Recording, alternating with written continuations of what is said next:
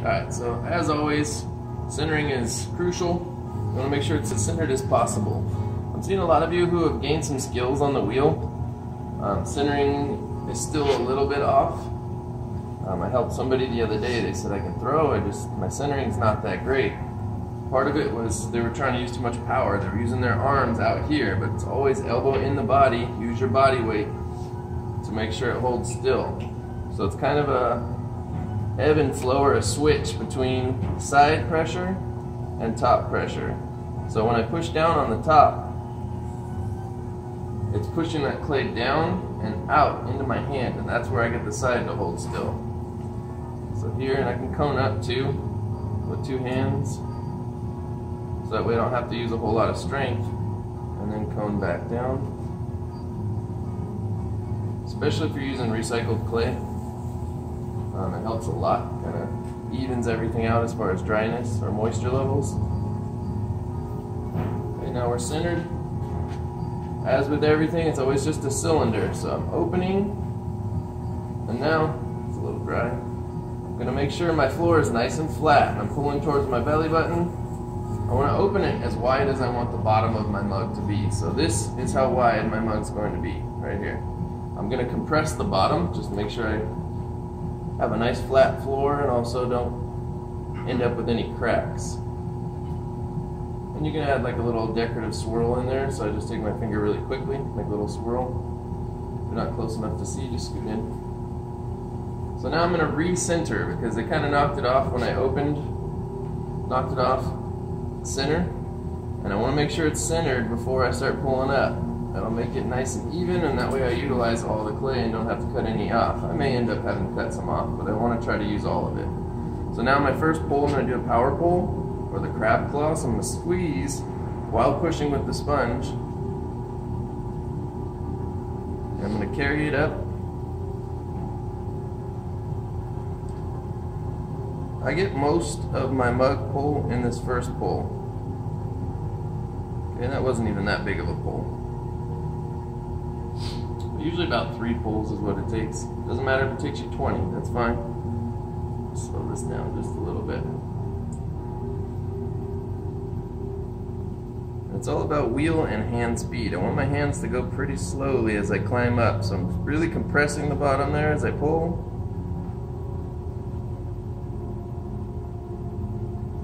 Pull it up. Okay, so I see this little round spot I have down here. I still have a lot of clay there. I'm gonna add a little bit more water, and get the slip off my sponge. A little bit of water on the inside to my inside hand. Now watch how I compress at the very bottom. I'm gonna use my finger to push all that clay in. Now I'm pushing a little bit out from the inside to get that little bulge there. Then I just carry that up. And my hands stay together.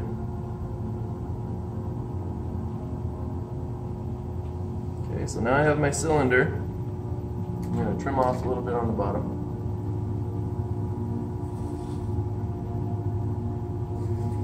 And now it's time to shape it. And you can do a lot of really cool things. Say I left this like this. Um, I would use the smooth rib to clean up the outside. Use this to clean it up if I was going to keep this shape. Um, thin it out a little bit as well. But um, just trimming can add a lot of accents to this. I could trim a really sharp edge down on the bottom the next day, like after I let it dry, to leather hard before I put my handle on it. And again, a mug must have a handle, otherwise it's not a mug, it's just a cup. So, Kaylee selected this one, so this is the one we're gonna make. I'll show you how to do these little alterations. Um, so first I have to belly out my mug, which is good because it adds a lot of volume. It's not some weird term, but volume as far as like how much liquid it can hold inside. So I'm gonna go ahead and put my hand inside. I'm gonna push a little belly out right here. Hold on. Sorry, you're gonna splash some. Just wanna make sure I pulled all this clay up real quick. Yeah, we're pretty good. It's kind of thin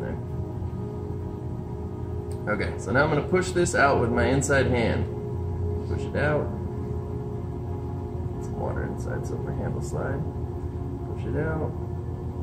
Then I'm gonna come up slowly That's the main thing I'm doing these little bellies. Some people will push them out and they get scared because they see it start to wobble. You just gotta hold still. So I push, and go very slowly up until it has a little belly. Gonna get the water out of the inside while I still can. If you leave water inside, it'll find a way out. So don't leave too much water. A little bit of water, it'll just absorb into the clay. But if you leave too much, it'll literally develop a crack somewhere on the sides and find its way out. So now I'm gonna collar in the top a little bit. So I'm just doing three points of pressure. One, two, and three. So I want that to go in a little. Do a little pull just for shape. And I like thicker lips, uh, but if you want to thin the lip, you don't like them too thick, otherwise they cause a spill. But if you want to thin it, I just use my sponge and my finger and just pinch it a little bit.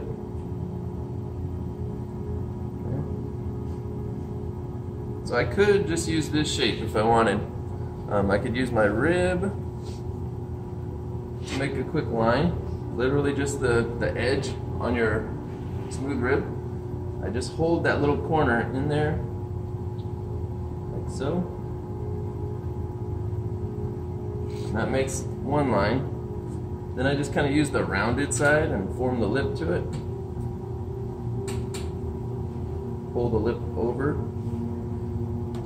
Okay, you could stop here. But we're gonna get into some pretty wild little alterations real quick. I always clean that line up with a sponge. Usually I'd heat gun this because it's still a little sticky, or I could wait for it to dry for about 20 minutes. Um, but I'm gonna go ahead and do it with the stickiness and all. So I'm gonna take the wooden rib, it's kind of rounded, so don't use the metal rib. You can use it for different things. Try different things, experiment with it. I don't expect you to just stop at one mug, like, okay, I got it, I just call it quits. Make a few, don't play it safe. But um, you could use a metal rib, but for this, for the sake of this specific pattern, it tends to cut holes in the sides of your, your pots. So I'm gonna keep this as vertical as I can. And I'm gonna push this in. And some people look at it and go, oh man, he's destroying his, his pot. We'll get it back in order in just a second. So now I've got one on that side. I'm gonna go exactly straight across from that one. I'm gonna go on the other side. You can see it right here. I'm gonna push in. And once I push that in, I lift up just a little bit. I slide up just to get it unstuck from the clay. So now I've got one on each side. Now I need one about 45 degrees off from that one, or just in between those two, whatever's easiest to comprehend. And then one more.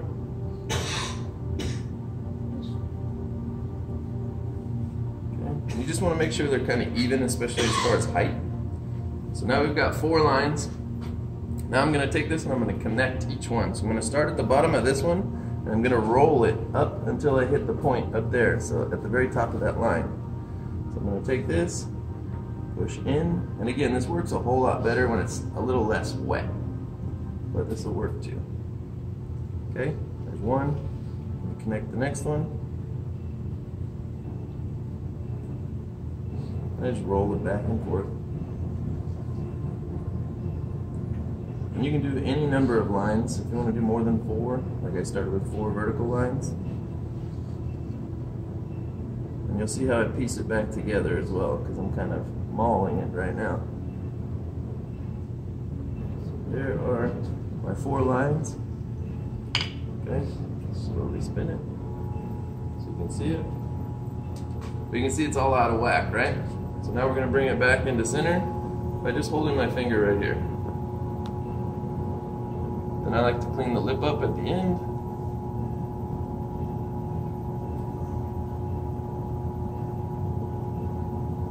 Just holding still, just kind of pulling it slightly. Make sure everything's clean.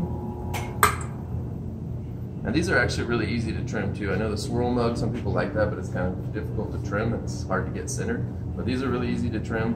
It looks really nice in the end. Um, so you can see the bottom is trimmed out. Sometimes, like if I did it this wet, you can see some chunks in there too.